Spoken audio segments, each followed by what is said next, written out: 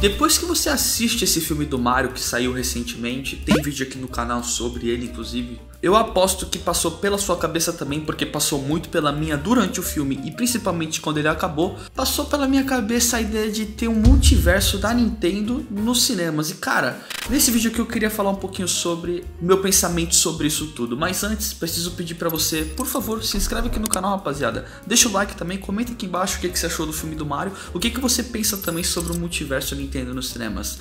Ah, e também agora eu vou começar a pedir, se você quer saber um pouquinho mais da minha rotina, um pouquinho mais da minha vida, eu ando postando muita coisa lá no meu Instagram também. Então segue lá, é LordMarucos. Tá aqui embaixo se você quiser ler e botar lá no Insta. Enfim, segue lá. E enfim, galera, depois que você sai da sessão do filme do Mario, meu, esse filme do Mario foi incrível, simplesmente eu preciso falar disso de novo. 10 de 10 para mim, pelo menos 10 de 10. É inegável que fica um gostinho doce ali na nossa boca de quero mais. E mano, durante o filme e depois, após o final desse filme, né? E conversando com meus amigos também, a gente chegou no pensamento que, cara, imagina que incrível seria se a gente tivesse um filme de The Legend of Zelda, por exemplo. Cara, como é que seria um filme de Zelda? Porque a lore de Zelda é uma das lores mais assim que eu, que eu acho mais profundas da Nintendo, inclusive mais dark, né? Tem aspectos muito assim profundos na, na, na, saga, em toda a saga da, de Zelda. E se tem uma coisa que não falta para Zelda é narrativa para ser contada. Assim como Metroid também, a Samus, mano, histórias absurdas também contadas durante todos esses jogos dessa franquia linda que é Metroid. Cara, Pokémon nesse estilo de animação que saiu esse filme do Mario seria simplesmente perfeito, absolutamente magnífico. Mas eles insistem em fazer filmes híbridos com seres humanos. É, essa ideia para mim é uma ideia que eu não gosto muito. Inclusive em Sonic a gente tem um exemplo muito recente disso, né? Os dois filmes do Sonic. Eu não vou dizer que eu não gosto, eu gosto dos filmes de Sonic. A gente teve também em Detetive Pikachu esse modo híbrido de tratar animado, feito em 3D, modelado, animado, com o mundo real. E cara, são esses três filmes, inclusive Sonic 1, Sonic 2 e por fim, o Detetive Pikachu são três filmes recentes que eu aprovo, eu curto muito, até indico, assistam, são filmes muito bons, não são filmes ruins.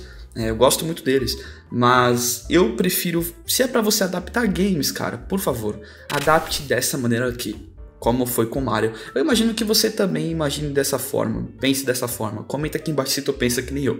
Mas, cara, para mim games eles não precisam, assim como acontece em animes também. Para mim a teoria do live action, cara. O live action ele é Sim, ele é necessário em alguns momentos, em algumas obras. Existem certas obras que dá para se adaptar, mas existem, outra, existem outras obras, cara, que simplesmente não dá para tu levar pro mundo real.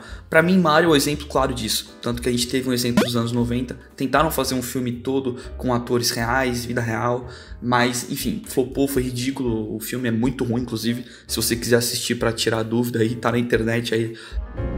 Existem jogos que, inclusive, preciso fazer até um adendo. Existem jogos que dá para fazer filmes realmente com pés no chão. Por exemplo, Metal Gear. Metal Gear daria uma saga de filmes aí absurdos assim, nível assim Missão Impossível, porque a lore de Metal Gear também é uma das lores mais recheadas do universo dos jogos. Sou muito fã de Metal Gear inclusive, mas eu sei que daria uma saga de filmes assim absurda. Nível assim, para fazer uns 5, 6 filmes, cara, porque a história de, de, Metal Gear é vasta, é vasta, muito vasta. Só que isso tudo, para isso tudo acontecer, precisa ser bem adaptado.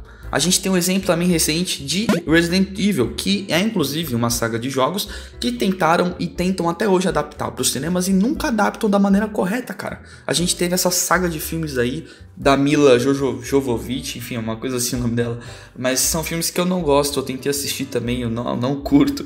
E para mim são filmes baseados em jogos que não deram certo, os filmes de Resident Evil. Inclusive teve recentemente o De Volta a Raccoon City, mano, que bomba! Quando eu vi no cinema foi horrível. Eu nem sou fã de Resident Evil, para falar a real para vocês, mas para mim adaptaram de um jeito pior ainda.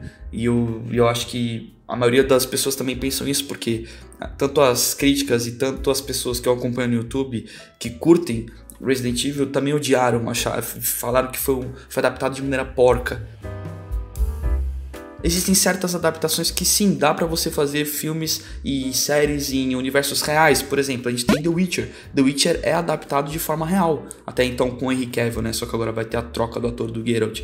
E para mim é uma boa adaptação a série de The Witcher. Pode ter um erro aqui ali, mas é um universo que funciona no mundo real. Halo também, a série, eu não assisti ainda. Eu sou muito fã da saga Halo, inclusive, de Xbox. Mas a gente viu na série, pô, deu certo também. Pelo, pelo que tudo indica, deu certo. O live action, né? O, o 3D da vida real. Só que universos como Mario, cara, não dá pra tu ter na vida real. Sonic também não, desculpa se tu é fã do, dos filmes do Sonic, eu também sou fã, não se ofenda por isso. Mas para mim os filmes de Sonic eles fu funcionariam muito, mais, muito, mais, muito mais se eles tivessem sido adaptados, assim como Mario foi em um universo como a Illumination construiu, um universo animado, um universo carismático, um universo ali com Green Hill animada, um universo assim que, meu, a modelagem dos personagens é muito bem feita, é um nível assim absurdo, não, não, não, não critico isso também, mas para mim, se funciona na, com a vida real, em live action, meu, funcionaria 10 vezes mais no universo animado. E digamos que, cara, posso até ser polêmico, mas eu acho que até faria mais bilheteria, porque atrairia muito mais o público infantil do que já atraiu esse filme do Sonic, né? Porque eu lembro que na época que Sonic 1 lançou, por exemplo, teve muito uma, uma pequena polêmica de alguns pais falando que não iam levar os filhos no cinema para assistir porque tinha algumas piadas mais pesadas por parte do Sonic. Coisa que a gente não vê no filme do Mario, por exemplo, que é um filme que adapta o sentimento inocente ali que a gente tem em toda a saga Mario, né? Dos personagens e tudo mais. Mas enfim, só imaginem agora o mar de possibilidades que a Nintendo, no caso, tem que ela pode fazer colocando um, uma saga. Cara, imagina quantos filmes daria a Zelda Imagina a gente ter um Majora's Mask adaptado para um filme. A gente ter um Ocarina of Time adaptado para um filme. Imagina a gente chegar no apoteótico Breath of the Wild adaptado para um filme. Cara, ia ser simplesmente animal. E eu vou mais longe ainda. Eu acho que nem, nem só apenas Zelda tem uma história muito boa. Até a Luigi's Mansion, cara, que é do Luigi. Pô, o Luigi é muito massa. Luigi's Mansion é um jogo muito divertido. Imagina um filmezinho de terror muito fofo, cara, feito pela Illumination. E, cara, Luigi's Mansion tem um plot muito legal, os jogos, inclusive. Daria para adaptar muito bem num filme.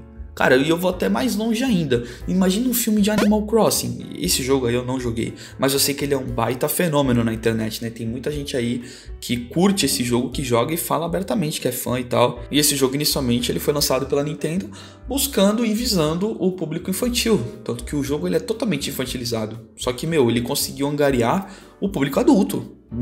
Nossa, o público adulto que eu vejo hoje em dia que é fã de Animal Crossing é bizarro, é loucura. Então, assim, a Nintendo agora, com a bilheteria de Mario, Mario já vem quebrando todas as. Todas não, né? Mas vários recordes, inclusive desbancando até Frozen, cara. Desbancou até Frozen 2, se eu não me engano, como a maior estreia de um filme animado, né? Da, da indústria. O que aconteceu com Mario, para mim, é uma coisa assim muito legal, muito boa pro, pra indústria. E abre um precedente muito legal pra gente no futuro. De que os filmes de games eles estão começando a voltar dar certo. A gente teve esses exemplos recentes de Sonic que deu certo, Sonic 2 que deu certo, Mario agora, Detetive Pikachu que adaptou Pokémon de uma maneira muito legal. Antigamente a gente tinha muito flop em filme de jogo, ultimamente vem saindo muita coisa legal, né? A série de Halo, a série do The Witcher vem sendo bem aclamada, né? Por enquanto. Então, cara, eu não vejo nada de errado se a, se a Nintendo falasse, meu, bora fazer um universo compartilhado. Não, universo compartilhado não, né? Pelo amor de Deus. Porque se fosse o um universo compartilhado da Nintendo, eu gostaria, porque podia combinar no filme do Super Smash Bros. misturando todo mundo numa batalha final lá. Mas eu quero universos assim separados, mas, meu, feitos pela Illumination, Imagina se fosse pela Illumination, nossa, ia ser tudo com uma qualidade absurda.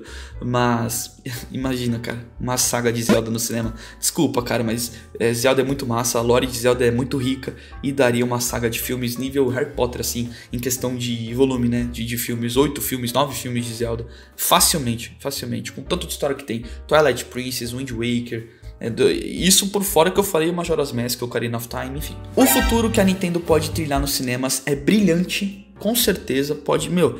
E inclusive, cara, eu quero que você comente aqui embaixo qual obra que você gostaria que a Nintendo adaptasse para um filme, que a Nintendo junto com a Illumination ou algum outro estúdio fizesse um filme para os cinemas. Comenta aqui embaixo se você quer alguma adaptação. Inclusive, comenta embaixo também, sem ser da Nintendo, se tem alguma saga de, de, jogos que você queira que seja adaptado um dia. A minha é Metal Gear, sou muito fã. Ia ser absurdo ver um filme de Metal Gear. Mas enfim, rapaziada, tamo junto. Espero que vocês gostem desse vídeo. Comenta aqui embaixo, compartilha com seus amigos. É, não esquece de se inscrever, por favor, isso dá uma ajuda absurda no canal. E claro, não deixa de me seguir lá no Instagram, arroba Lord Marucos tá aqui embaixo, beleza? Tamo junto, rapaziada. É nóis.